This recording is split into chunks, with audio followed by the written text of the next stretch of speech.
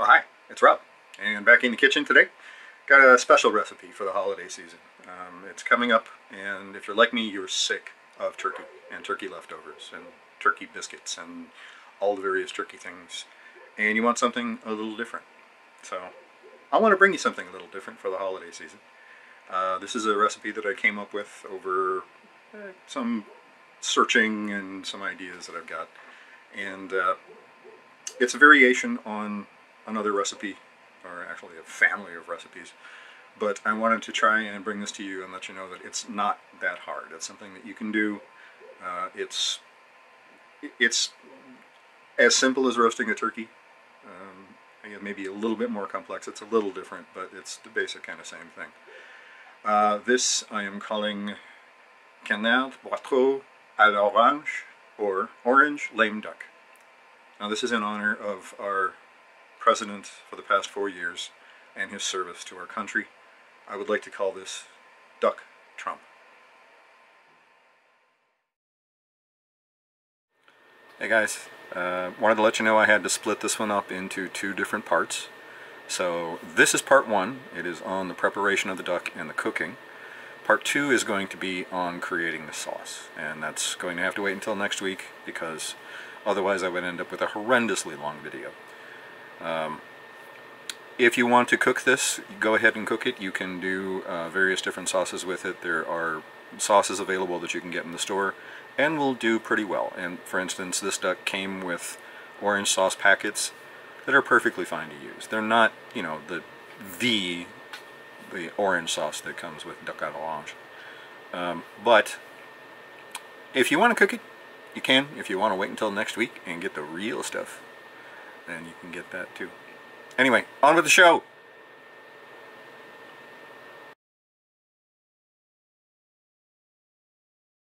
Okay, while this recipe is relatively simple, it does take some time. There's, you need some time to prepare the uh, duck ahead of time.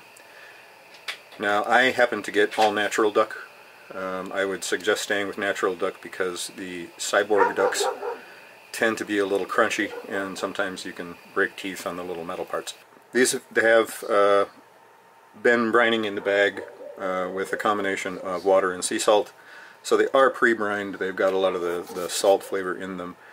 Uh, but, you know, we still need to process them and deal with them, so we're going to do that.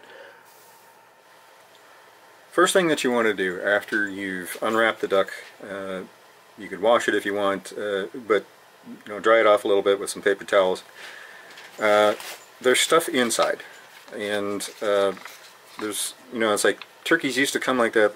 The last couple that I've gotten don't come with a lot of it, but for instance, this one came with an orange sauce already. Uh, this is not the sauce we will be using, but it is a perfectly serviceable sauce for other things. Uh, does come with a lot of, you know, the gizzards and the liver and um, various bits and pieces, neck, more bits, uh, light bulb, uh, small cephalopod. Anyway, uh, you want to make sure that you get all of it out. Uh, some of it tends to hide up in the neck, so you want to make sure that you clean it all out pretty good. Your hands are going to get really gooey. Once you've got all the, uh, the innards pulled out of the, the duck, uh, you want to blanch it. Uh, there's two ways of doing this. Uh, one is you can try and scare it. You can also threaten to hold the duck over a boiling pot of water. Or you can dunk it in boiling water for about two minutes. Blanching helps tighten the skin and helps uh, release a little bit of the fat from under the skin. So this is what the duck looks like after it's blanched. You can tell it's firmed up a little bit, skin is firmed up, uh, some of the pink color is gone. Um, it is a, it's a little easier to work with now. It is also much more greasy because some of the fat started to render out a little bit. So right, one of the first things we want to do, now this one is actually missing this part of the wing, is to take a very sharp knife and cut the end of the wing away. The wingtips on ducks just burn really easy. There's almost nothing there. Second thing we want to do is again, sharp knife. I want to cut on the back side and get in here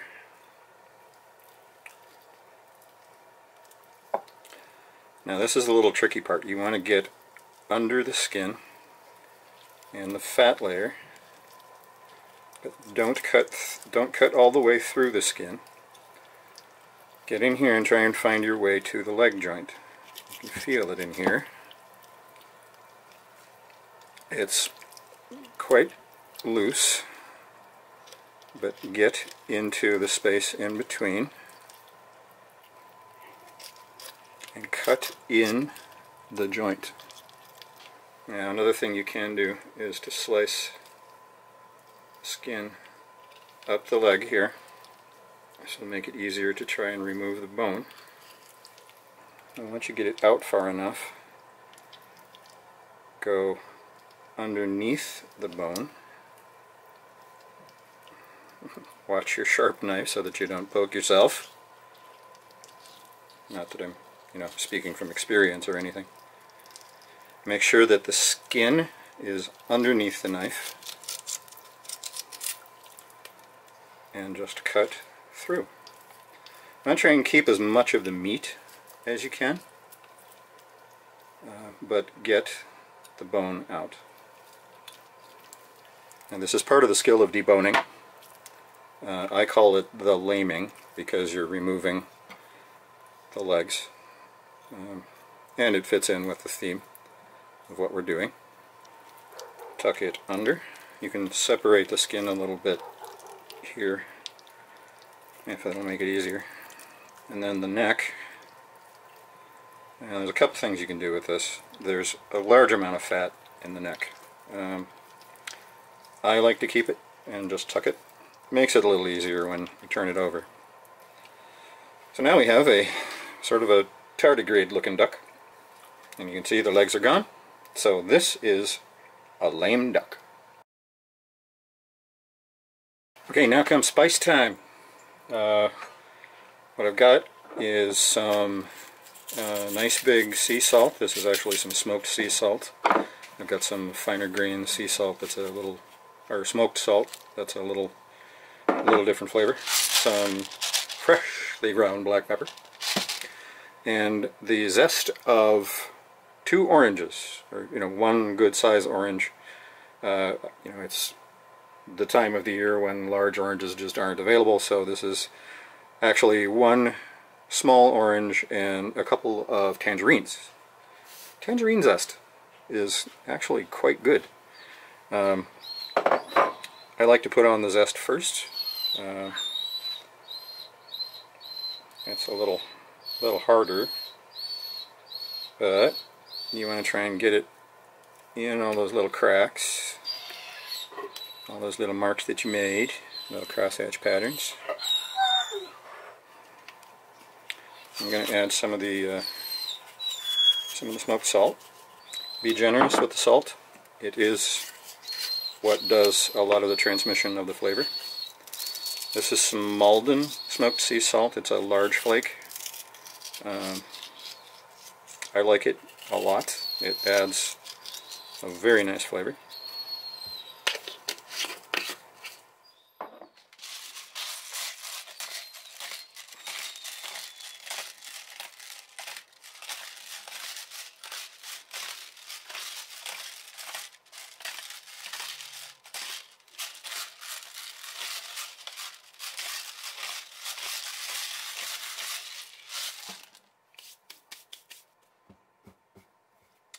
And that is good.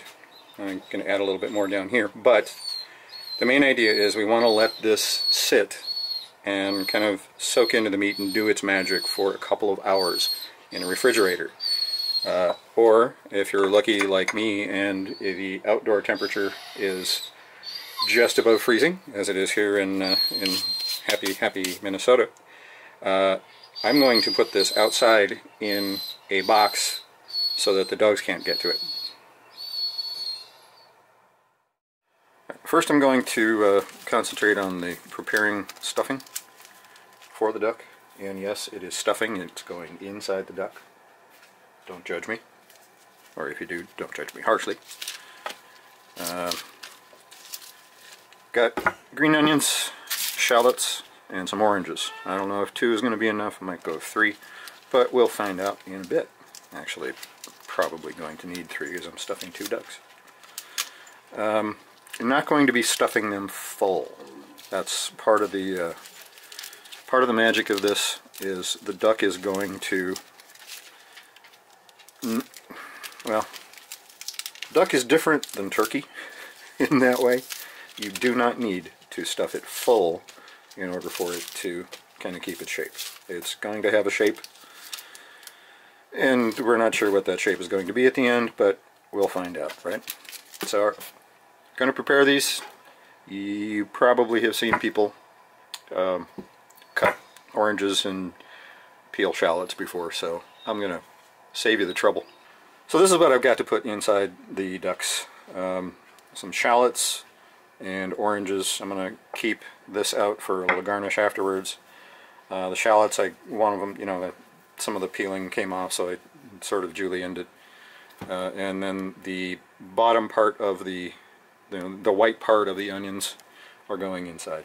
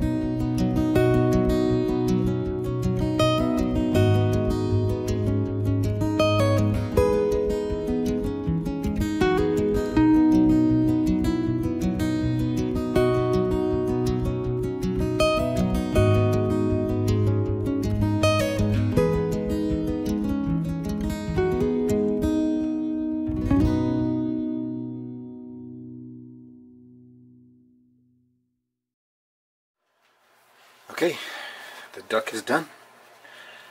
Gonna open it up and see what it looks like. Oh, yeah. Skin needs to be crisped. But, uh, yeah, those are some ugly ducks. Alright. So the next thing is going to be doing crisping the skin. So I got them out of the roasting pan and onto a raised rack on top of a shallower baking pan. I'm going to pop this in the oven at uh, 425 degrees with the broiler and we're going to first of all try and crisp up the skin on the top. Should only take a few minutes, I'd say probably 10 to 12 would probably do it. Um, we want there to be uh, air circulation on the bottom too so some of the heat can get underneath. I'm going to be pouring out the grease and the pan drippings from the roasting pan.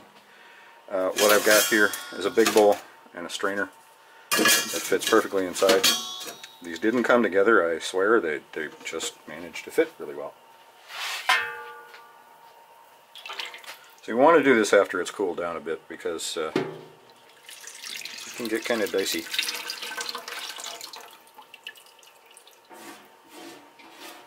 Now you can use the pan drippings to add to the sauce, give it a little bit more of a duck flavor, but honestly that sauce is so concentrated in flavor right now, it's ridiculous.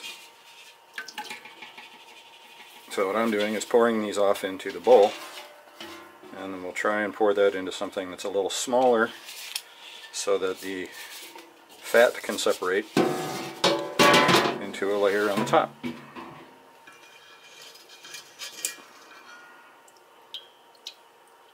This marvelous stuff can be added in cooking.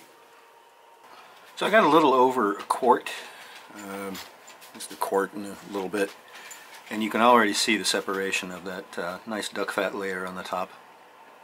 So you'll let that cool down until the duck fat solidifies and then separate that and keep it for marvelous tasty cooking things.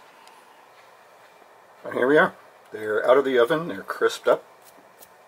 There's a nice crispy crunchy uh, layer on the skin and they are cooked all the way through and they're ready to be uh, ready to be plated up.